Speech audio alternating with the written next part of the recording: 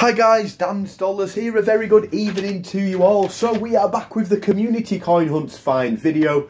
As a community, as a family, all of those coins that we have managed to find together.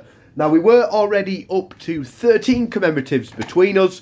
The list though is ever growing and we do now have 22 coin finds on that list. Some new additions, we've had a Benjamin Britten from Smithy, James has got a Brunel, Norman there with the Magna Carta, Alan Jenkins with the Squirrel Nutkin and the Commonwealth Games 50p. We've also had Curtis McElroy with the Commonwealth Games £2 coin England. What a find. Norman Graham again on the list with a World War One £2 coin. LFC with the Mr. Jeremy Fisher and Liam with a 2017 Royal Shield. And he did say that he'd never checked for them before after seeing one of the videos. He thought he'd check for them and he found one an amazing story. And again, a huge shout out to anyone that's found any commemoratives over the last year. It has been difficult, but I do promise you, if you stick at it, those rarer ones will find their way into your collections.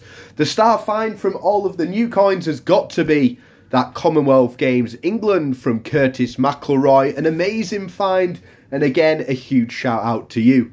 From the previous few days, we also had two Jemimas being found from William Mitchell and again from Curtis McElroy. This man is on a roll.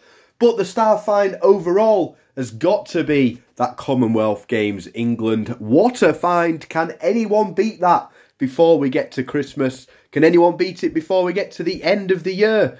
But the most important question is, have you found any commemoratives? Get them in the comment section and let's see if we can hit 50 by the end of the year. It really does show that they still are out there, so definitely do keep faith and hopefully one day you'll find one of those rare ones. Stay safe and as always guys, thanks for watching.